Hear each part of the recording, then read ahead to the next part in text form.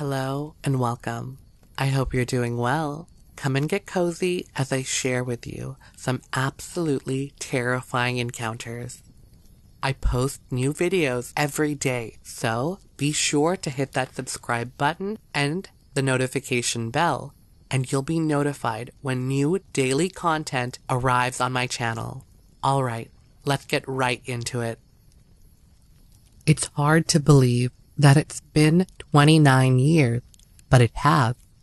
I was 12, and for the first time, I was being allowed to go deer hunting. This was meaningful, as I was now being considered a man in the family, someone who could put meat on the table, so to speak. The hunting trip took me to a 200 acre parcel my family owned in Wisconsin. There I'd be hunting with my father, uncle, and cousins. I was no stranger to the property as I pretty much spent every summer of my childhood there. My cousin was just as excited about my first deer hunting trip as I was. So, upon my arrival, he took me out to the woods to show me something unusual. He asked, Wanna see something weird? I replied, Yeah. He picked up a big stick, swung and whacked a tree hard. He repeated this several times. I wasn't sure what he was doing until I heard a whack sound in the distance. At first, I thought it was an echo. He handed me the stick and told me to try. Like him, I whacked the tree several times, then waited. Just like before, I got a response far off in the woods. I'll admit I didn't know what any of that meant, and in some ways, I thought it was kind of cool. My cousin then let out a yelp. Seconds later, something responded. Again, I didn't know what to think about any of what he'd showed me. And before long, we went back toward the cabin. I was fascinated by what could be responding to our whacks and yelps. Unable to get the odd incident out of my mind, I went back out to the same spot later. I picked up the branch I'd used before, swung and whacked the tree. Like before, a response came back, but this time from a different part of the property and closer. When I think back, I don't ever recall hearing or knowing people who did tree knocks or vocalizations. It was apparent my cousin knew about it, but I was oblivious. Heck, I didn't even know what a Bigfoot was at that time. Confused, I brought it up to my uncle, who was a man of few words. He simply told me to stop knocking on trees and mumbled a name I wasn't familiar with. I shrugged it off and went about the rest of my day. What's odd is it wasn't until much later in my life did I hear that name again, this time from a prominent Bigfoot researcher, Coonbo Baker. That night, I was told where I'd be hunting. They were going to stick me way out at the far end of the property. A place I had been told to avoid before because of how remote it was and that I could get stuck back there due to the bogs and creeks. Looking back now, I do find it ironic I was stuck in the one place I was always told to stay away from. The morning came and it was chilly. My uncle took me out and dropped me off. Before he left, he instructed me to stay put and that he'd come to get me at the end of the day. I nodded and went on my way. This part of the 200 acres was much different than any other part. In fact, the whole atmosphere changed back there. It went from hardwoods to really thick brush, high grass, and, like I mentioned before, bogs and creeks. I went to an old willow tree, which held a rickety and aging tree stand. I put my foot on the first step, applied pressure, and sure enough, my first step broke. I thought to myself, great. In order for me to reach the second step, I'd have to go back, make a running jump for it. Being 12 has its disadvantages, and height was one of them for me at the time. I took a few steps and went for it. I easily made the second step, although I was a bit nervous that it would break too, which would send me to the ground crashing hard. This old tree stand wasn't very sturdy to begin with, as they'd used what appeared to be any old scrap of wood. Using every ounce of caution, I scaled up and took a seat. Time ticked away, and a chill began to settle in me. Not a chill from fright, but because I had been motionless, like a good hunter should be. It was a cloudy day, and the warm rays of sun were being hidden. More time ticked away, and I knew I was doing a good job of being still, as every squirrel and bird came close, oblivious that I was even there. The sun crept toward the horizon. The day was getting away from me, yet I'd not seen a deer. I suspected the shooting hours had passed and that my uncle would show up at any time. Patiently, I waited and waited and waited. Dark wasn't far off, and still my uncle hadn't come to get me. I grew concerned and knew I had two choices. I could continue to wait or get down and head back by myself. As I made up my mind on what to do, I took notice that everything around me had gotten very quiet. Fear suddenly took hold of me. I had felt it before in my life, but not to this level or intensity. My eyes darted around and looked for the squirrels or birds that had populated the woods around me all day, only to find that they had gone. I couldn't see anything around me, yet I knew I wasn't alone, that something was out there. The fear kept rising, but why? I still hadn't seen anything. Regardless, my senses screamed at me to go, run, get out of there. I knew that something wasn't right, but I just couldn't put my finger on it. The sun was sinking and it was getting darker by the second. I now knew that no one was coming to get me and that I was going to have to make a go of it on my own. I got ready to get out of the stand, then did everything you shouldn't do with a 30 30 lever action rifle when climbing out of a stand. I half cocked the rifle because I knew I'd be most vulnerable and exposed as I climbed out of the stand and down the willow tree. I couldn't see much of anything around me, yet I couldn't shake this feeling that something was there close by. Slowly, I navigated down the tree, taking care with each foot placement until I reached the last step. From there, I planned on jumping. Without a second's hesitation, I leapt. I hit the ground and quickly recovered. I got up and now I was facing down a path or what might have been an old deer trail. What little bit of light was left illuminated the open space in front of me. It was then I spotted something rise just off the trail to my right about 30 feet. It towered like nothing I'd ever seen before. I guess now that it stood over seven or maybe eight feet. My body tensed, and the fear that I thought was elevated already rose to almost sheer terror. Instinctually, I cocked the hammer fully back on the rifle and threw it onto my shoulder.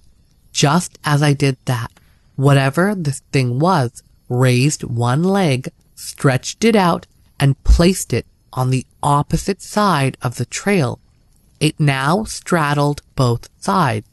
Its massive frame focused on me and my rifle. I have to laugh now because, believe it or not, I began to think about hunter safety. Know your target and beyond. My mind screamed at me for just a brief second before I hollered back. Know your target? I don't know what I'm even looking at.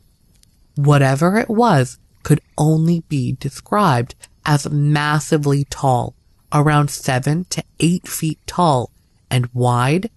Its shoulders spanning feet across the trail. The fading light of the day shined from behind it, making it impossible to make out good detail. But the outline was crystal clear. I made out that it was standing on two feet, had legs, arms, and a head. I could also make out hair or fur or whatever you want to call it. I thought to myself, what am I seeing with the butt of the rifle in my shoulder? I put the scope on it and looked through. My scope was low powered with a yellow filter which illuminated everything a bit more, but still not enough to clearly make out what I was seeing. I placed the reticle of my scope on the vitals, placed my finger on the trigger, and stood ready to unload everything if it made one move towards me. The entire time, I thought that I was going to die.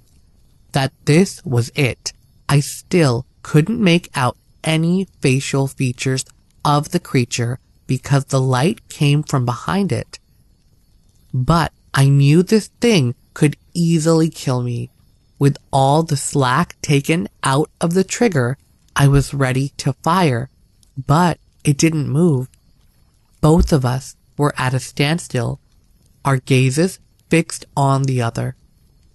I couldn't say how long we stood staring each other down but it felt like forever. Then, without notice, it leapt to the right from where it stood. All I heard now was crashing as it fled. A minute later, there was silence. I then saw something farther down the trail. It was the silhouette of a deer. It dawned on me that I had come in between this thing and its meal. I assumed it must be mad at me, so I did the worst thing possible. I turned and ran.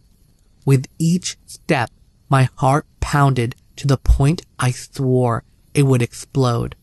My vision narrowed, which made it harder to get a good view. To my right, the direction the thing had gone, I heard movement. I now thought the thing was going to circle around and come for me. I got up, swung my rifle around, and again readied myself to fire, but nothing was there. Without wasting another second, I pivoted and raced off again down the trail. I don't know how long it took me, but I did finally make it back to camp. Not a second after my arrival, my uncle and Everyone began to haze me. They could tell I had been spooked, with someone joking that I looked like I'd seen a ghost. What they didn't know was I had seen something far worse.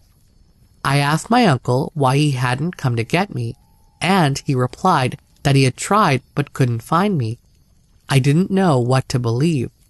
All I knew was I was glad to have made it out of there alive as I was sure my demise was certain.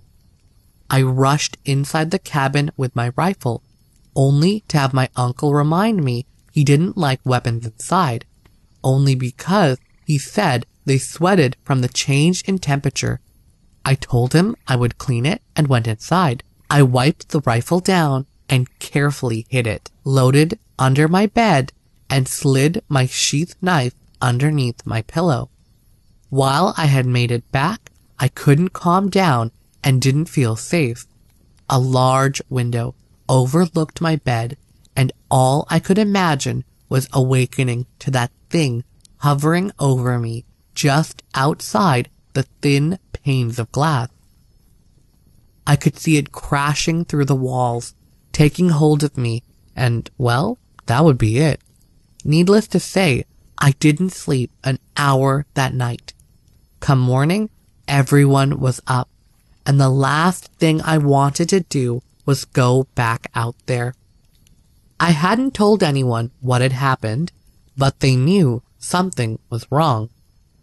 However, that didn't stop them from hazing or making fun of me. It's just what they did. I told my dad I didn't feel good, that I had gotten too cold the day before, so maybe I could take the stand closest to the cabin. My plan was to bag a deer as fast as I could and get the hell out of there. I knew this was my only way out. I arrived to my new stand, and believe it or not, I got a deer rather quickly.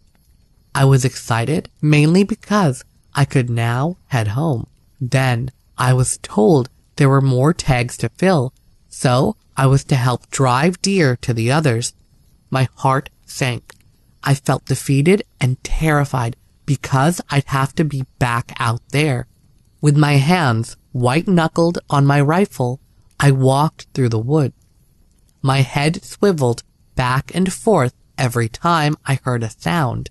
With each crack of a branch or crunch of leaves, I snapped my head with the expectation of seeing a monster pop up, only to see a deer or squirrel. I made it through the drive, which ended the hunt.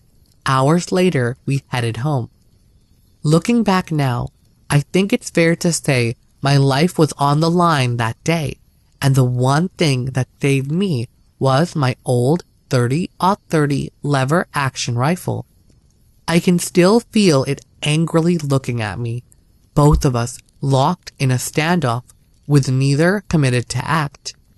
I went back to the property a few years later, but I made sure I never went to that part of the property again. I figured that was his territory and also figured he was probably still mad at me.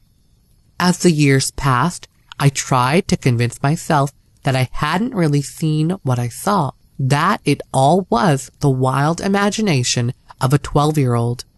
I dared never mention it to my family for fear they'd mock or ridicule me. So I held in the fear from that day, never uttering a word to another until now. Even in my best effort to wipe my memory of that time or imagine it was something else, I always regressed. I don't think I'll ever forget that day. Like so many others I've heard tell their tale, it's something that becomes seared into your memory. I still venture back into the woods, but now I go with the knowledge there are creatures there that could do us considerable harm. When I go, I'm always armed. Whatever those things are, they know what a rifle is, and I believe they also know what it's capable of. My rifle saved me that day 29 years ago. I know this without question. I also know that on that day there were two hunters in those woods. On to the next one. My wife and I were returning home on the interstate one night in December. In the distance, as we were coming up a grade, we saw a semi on the shoulder with its flashers on. As we got closer, there was quite a bit of blood on the pavement and some pieces of debris from the truck, like broken lenses and a mirror laying on the road. We were driving quite slowly as we were approaching the truck and had noticed something on the shoulder which we believed to be a bear or a moose. Suffice to say, it was something very large, and it appeared that it was what had collided with the truck up ahead. We pulled up on the truck and got out. Walking over to the cab, we saw the driver was still inside. I grabbed the side rail and jumped up on the fuel tank to check on the driver. He was sitting in the seat with his head in his hands, still behind the wheel of the truck. I tapped on the window and asked him if he was all right. It took him a few seconds to respond and he rolled down the window. I could see that he was in shock and didn't answer right away. About a minute later, while I was telling my wife to call the police, he said to me, I just crashed into a damn Bigfoot that was running across the road back there, chasing a doe. I said to him, You hit a what? He repeated himself, saying that he had just demolished the front of his truck, hitting a Bigfoot that was crossing the highway. I climbed down from the cab and walked to the front of the truck. The lights were still on, and the entire grill, front bumper, and hood was buckled inward. The left front fender and headlamp were demolished, and the truck was leaking water from what appeared to be the radiator. It was about ten minutes later when a trooper came roaring down the highway and an ambulance soon followed. At this time, the driver still had not come out of the cab. He was sitting there in silence and holding his head in his hands. As the trooper drove up, we told him briefly what we knew and he jumped up to talk to the man. Moments later, the second ambulance came to the scene as well as another trooper. The driver was now out of the truck and talking. About 300 feet behind my truck, the animal was on the side of the road. My wife, Helena, stayed by our car while one of the troopers and I started walking back to it. He had his gun drawn and told me to stay behind him. He said that if the animal is still alive, it may jump and try to hurt us. The trooper had a powerful flashlight with an expandable beam. I was walking maybe 15 feet behind him as we approached the animal. As soon as his light hit it, I saw the blackened face of a gorilla type beast with blood pouring out of its mouth. I actually saw one of its eyes blink and its hand move slightly. I knew immediately that this was no moose or anything else that is known to be in these woods. It was exactly as the driver had said. He had crashed into a Bigfoot with his truck. The trooper told me to go back and stand by the truck. As soon as I had reached the truck, he fired three rounds at point blank range into the creature to put him down. A few minutes later, he took a report from us as to what the driver had told us. We overheard as well what the driver was saying to the ambulance crew and the other trooper. He said that he was fairly certain he was going to hit the deer and was trying all evasive maneuvers in a short period of time not to do so, saying that the trailer brakes had locked up and the trailer had begun to swing wide when, all of a sudden, the Bigfoot was now squarely in front of the truck and unavoidable. He said when he hit the beast, he wasn't wearing his seatbelt and the impact caused him to fly forward smashing the windshield with his forehead, which explained to me why he was sitting there in a daze holding his head. But thank God he wasn't cut or bleeding. As we were leaving, the ambulance crew was putting the man in the back of their vehicle. Helena and I took off. Now this is from Helena's perspective. I was asking Wilfredo what he had seen because I had stayed by the car. I saw the trooper fire the shot and had only heard the conversation. Wilfredo told me that it was a Bigfoot and it was still alive, but badly bleeding, which was why the trooper had decided to put it down. I said to Wilfredo that I couldn't wait to hear what the news reports would have to say about it the following day, but when the morning had come, there was nothing. We sat by the TV all day, waiting and waiting, and nothing at all was said. The next day, Wilfredo actually called the local news station and inquired about not hearing the story. They had said they knew nothing about any such story and asked Wilfredo what he had seen. Wilfredo must have spent 30 minutes on the phone with them recounting the entire story, and the next day, again, nothing was heard or said on the news. Nothing was in the local papers the entire week. We both know what we had seen and heard, and yet not a word was spoken about it. We thought that surely there would be great interest in such a story, but it was never told. On to the next story. This isn't a first hand story, but rather one my grandpa told me. He's as honest as the day is long, so I believe it really happened. My dad said he believes it too. I think it took place sometime in the 1970s. My grandpa was a cattle rancher. He worked very hard all his life on a place he inherited from his dad, although he added greatly to it, buying acreage and building lots of fence and cattle sheds. He ended up owning over 5,000 acres when all was said and done. That may sound like a lot of land, when you need a couple of hundred acres to support one cow, you can see that the more of that kind of land you own, the poorer you are. My dad inherited the ranch, but he hated ranching. He had trouble paying tax bills, and my mom wanted to live in town, so he ended up selling it for song and dance. Otherwise, I might have become a rancher myself instead of running a tire shop. I probably would have hated ranching eventually as it's nothing but hard work, according to my dad, who started the shop I now own two states away from where he grew up on the ranch.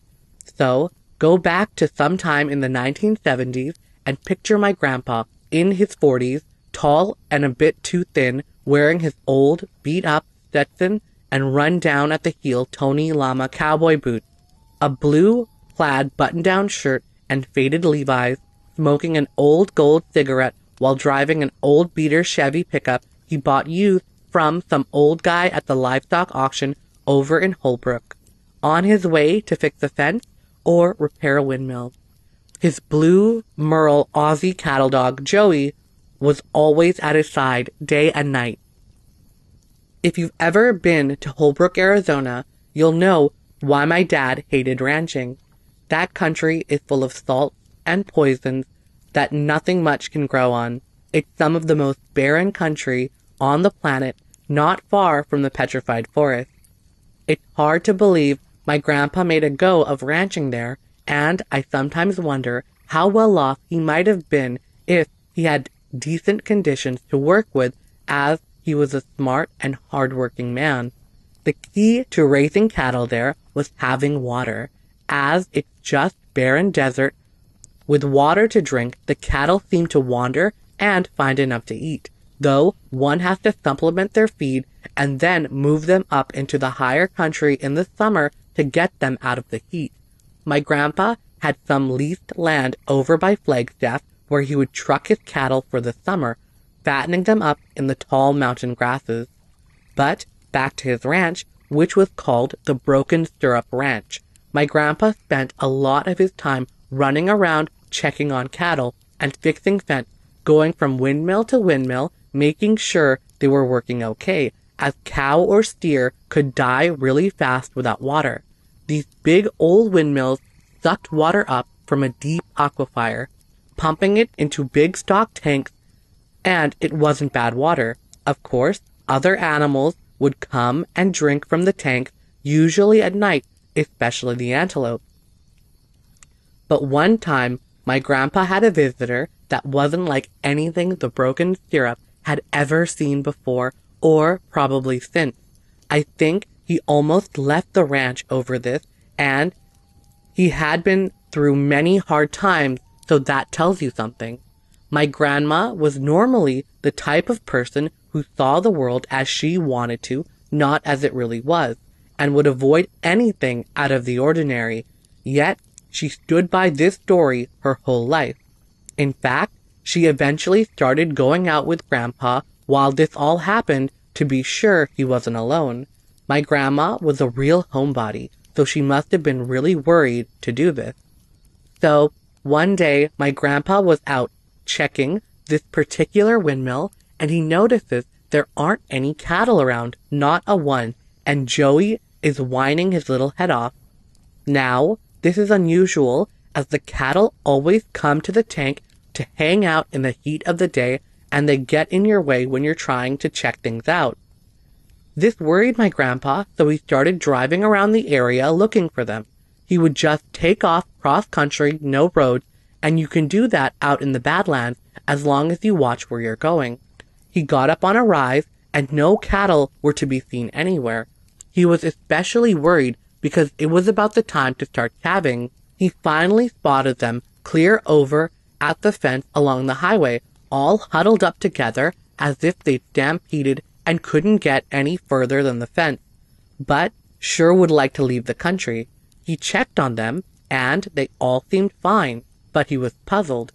They seemed glad to see him, and since he was supplementing their grazing at that time with hay, he had some bales in his pickup, and they followed him on back over to the windmill, hungry and thirsty. They seemed really leery, but they did finally come up and drink. But they were really spooked. He noted all of this, trying to figure out what had happened. Something had scared them, he knew that, and the way Joey was whining was odd. He never did that unless something was wrong. Grandpa threw the hay out, hung around a while to watch them, and finally left after everything seemed back to normal again. He noticed his rearview mirror that as soon as he left, they scattered, so he drove back. They hadn't begun to finish the hay, and when they saw him there, they came back and started eating again. This really puzzled him. They were still scared, but his presence seemed to make them less fearful.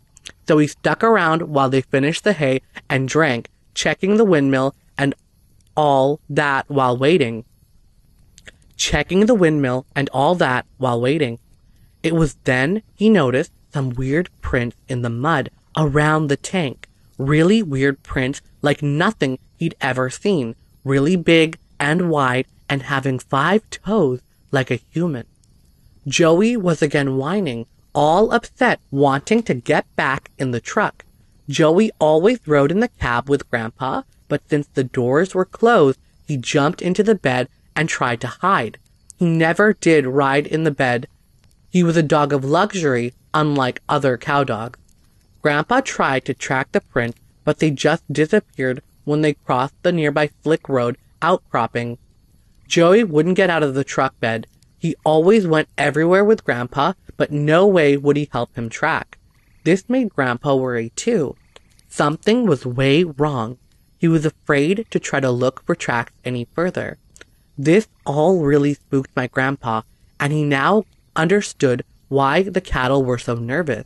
He got out his high powered binoculars from the pickup and glassed the countryside all around, seeing nothing, and he could see for a long ways in that open country. Now my grandpa could smell something foul. It made him gag. Just then, a small herd of about eight antelope came running, hell bent, up to where the cattle were kind of picking at the hay, still nervous. This caused the cattle to take off again, and the antelope stayed with them. This made my grandpa think the antelope were more afraid of something out there than they were of him and were seeking safety with the cattle. He stayed there for about an hour, watching, but saw nothing. Finally, he left, having things to do, but he later went back with more hay and enticed the cattle back to the tank. They were all thirsty and drank for a long time. The antelope were still with them. That evening, before going home for the day, my grandpa checked on the livestock again. They seemed happy, lolling around the tank, chewing their cud. Whatever it was, it was apparently gone. Next morning, he was back out there, bright and early, as he hadn't slept well, worrying about those tracks. Sure enough, no cattle. The entire scenario was repeated, and he finally got the cattle back over to the tank and settled down. The antelope had moved on.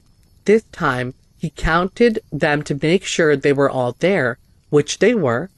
He was worried that all this stress was bound to make them start calving early, and he didn't want that. What was he to do? Something was scaring his cattle, and what if it actually harmed one of them? This worried him. He had lived in Oregon for a couple of years as a kid when his dad had worked for the lumber mills there before moving to Arizona, and he knew well the stories of Bigfoot. That's exactly what the tracks had to be. Nothing else worked. But how in the heck could there be a Bigfoot on a dry Arizona ranch? How did it get there and what did it eat? The latter question is what worried him the most. He went home midday, which he rarely did, and my grandmother knew something had to be wrong. He told her what was going on, and she freaked.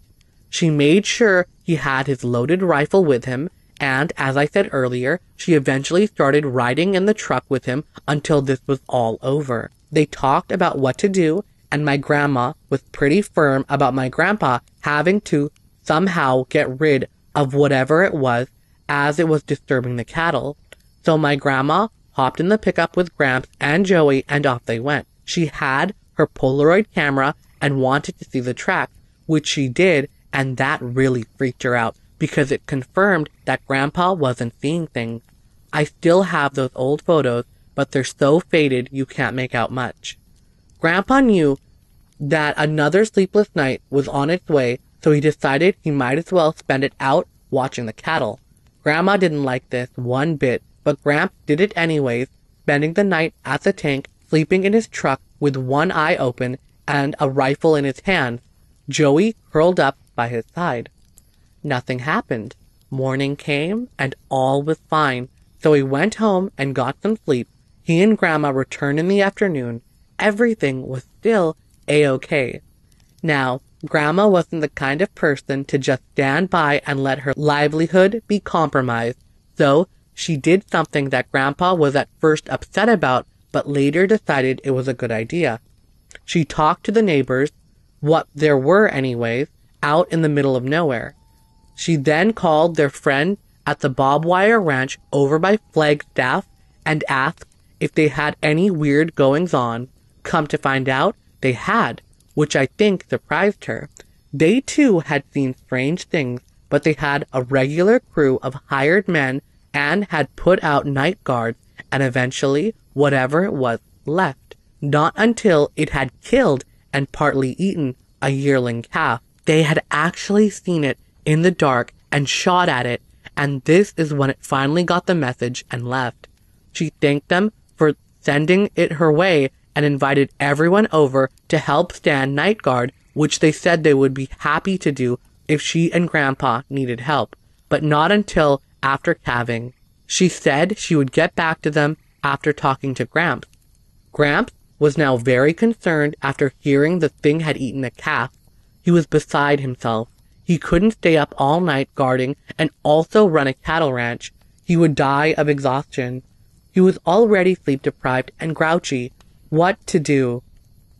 All he could think to do was to go out and check on everyone. This time he drove on past his gate to the stretch by the highway where the cattle always ended up. He might as well go with the flow. Sure enough, there they were, bellowing and milling around as if someone had just stampeded them. All of a sudden, Joey went ballistic, barking at something on the crest of the hill, and that's when Grandpa saw it for the first time. It wasn't at all what he'd been looking for, as it wasn't black, but a reddish tan color that blended right into the hills. Maybe this thing wasn't a newcomer at all, but part of a line that had adapted to the desert, seeing how well it blended in and all.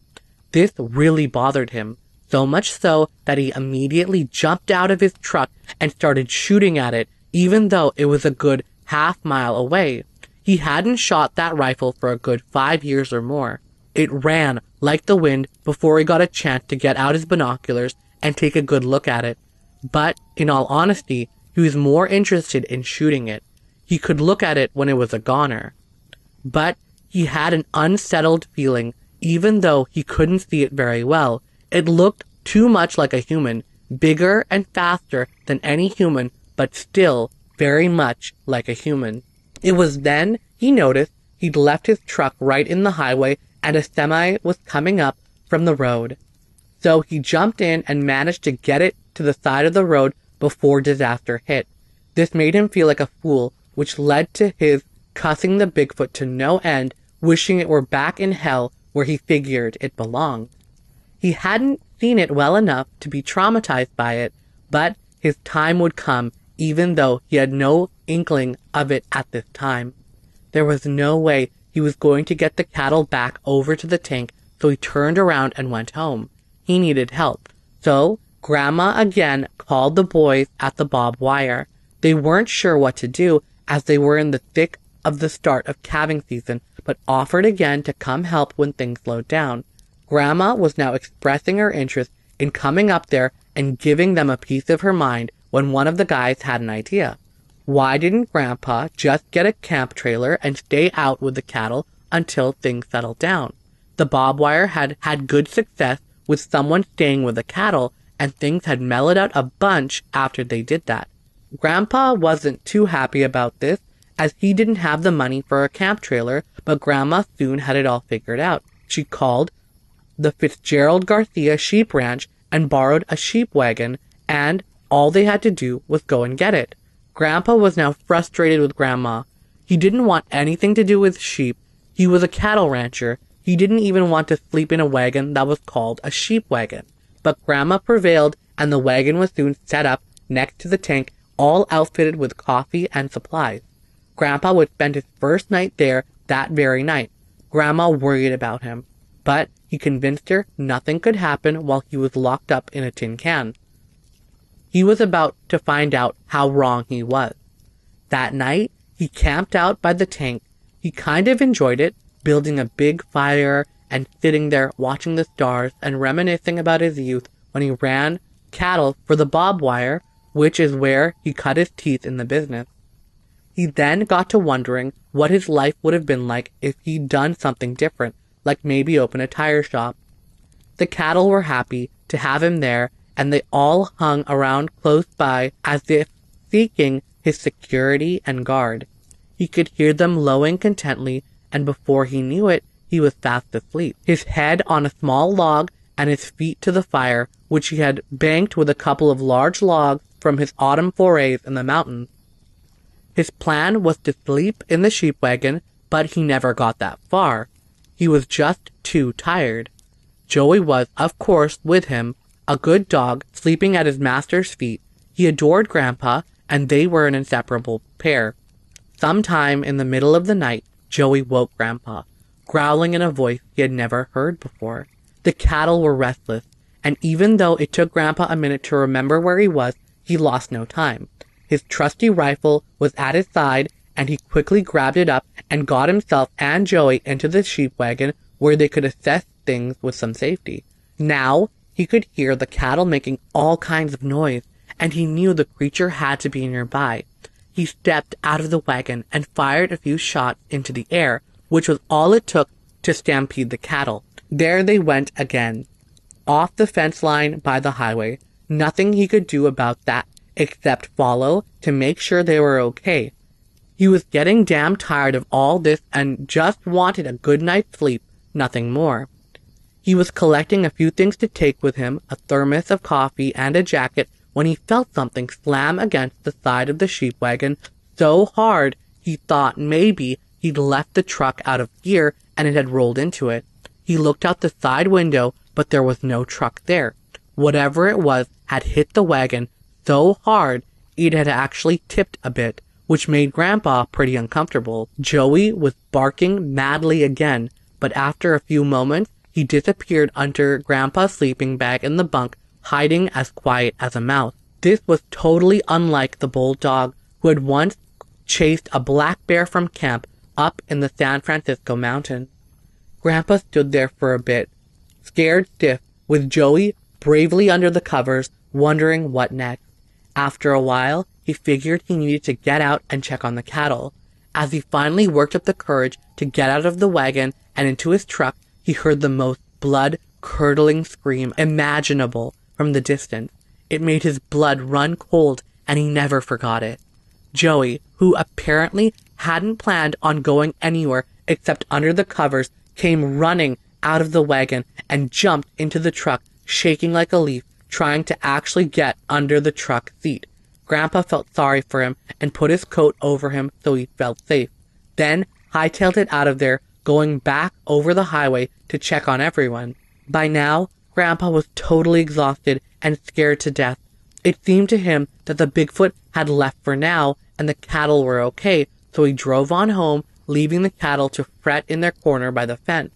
Of course, when he related everything to Grandma, she was soon on the phone again to the Bob Wire boys, making them feel more than guilty for running that damn monster over their way. They promised they would send two guys over to help that night.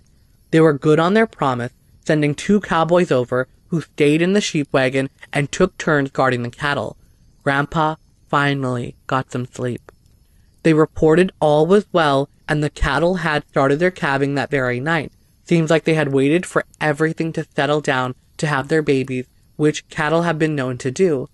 With the help of the Bob Wire boys, Grandpa was finally able to get everything under control, and the Bigfoot seemed to know what was up because it stayed away the entire time they were around, which ended up being several weeks.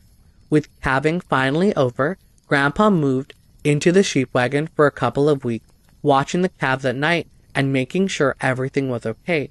The Bigfoot was still gone, but Grandpa decided to haul the cattle a bit early to his mountain land as it was shaping up to be a nice, mild spring and he didn't want to risk losing any calves to the beast. He somehow knew in his heart it would be back. The Bob Wire boys came down and helped him load everyone up in the cattle truck, and they were soon on their way up the mountain. Every year after that, Grandpa hired them to come down from Flag and help out. I guess he realized that there was a limit on what one man could do. Fast forward to midsummer, the cattle were happily grazing in the high country, and Grandpa was out at a tank working on windmill maintenance. All was well until he noticed that Joey had his hackles up. The dog then jumped into the truck, shaking. Grandpa looked where Joey had been looking and saw the creature over in the shade of an old abandoned shack. He could now see it clearly. The top of its head was cone shaped, and it had long hair on its head that came down to its shoulders on both sides covering part of its face. It seemed to not have any neck, but the head just kind of melted into the shoulders. Its body hair was shorter and very unkempt looking. He could make out a closed mouth, a flat nose, a heavy brow line, and the eyes were all dark with no white showing. Its face was like an aborigine. After seeing it, Grandpa said he could never shoot one. They were too human. At first, Grandpa was scared to death, and he started to make his way over to the truck and his rifle, but then he noticed the creature seemed to be having trouble standing up, as if it were dizzy or something. Then it dawned on Grandpa that all it wanted was water, just a little drink of water. So he got into the truck and drove off a ways, then just sat there watching. I can say he had more nerve than I would have had to stick around, but he was always a curious kind of guy. Sure enough, it was dying of thirst. It barely managed to drag itself over to the tank, where it then actually climbed into the water, drinking while sitting in the tank. That tank was several feet deep, and Grandpa said the Bigfoot must have been at least eight feet tall to stick up as much as it did when sitting in there. After it seemed to get enough to drink, it just sat there looking at Gramps, and Gramps said it just seemed to look right into his soul. It scared him to death, and yet he knew it wouldn't hurt him. It seemed to be able to tell Gramps' thoughts. At least that's how he felt. It really creeped him out, so he threw his lunch out the window for it and drove away. It was pretty scrawny looking. The very next day, Gramps had to go to Flag for some salt and supplies. He came upon a road-killed deer and had a light bulb moment.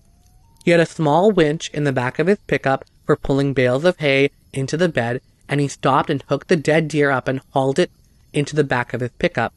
He said people were giving him strange looks as they drove by, so at one point he pointed to the deer and rubbed his tummy, which gave him a good laugh, knowing those travelers would think he was going to have that dead roadkill deer for dinner. He was always a character. This was an idea along the lines of how he always came up with things, spur of the moment and pretty crazy, but they usually worked out. So he took that deer back to the tank and dropped it off back where the tracks had led to the area, hoping it would give the Bigfoot something to eat. He checked a few days later, and sure enough, the deer was gone. He hadn't seen the creature any more after that, but he knew it had come into the tank area a few more times for water as he saw some fresh tracks. He told my dad he thought it had left the area for good as soon as it had the strength because nobody ever saw it again and it never bothered any livestock. Until he passed away, Grandpa always told people about how he saved a Bigfoot's life after he first tried to shoot it. He always got a kick out of their reactions as he knew they all thought he was a liar, but then he would pull out an old photo he took of it while it was sitting in the tank as he had happened to have Grandma's old Polaroid camera on him.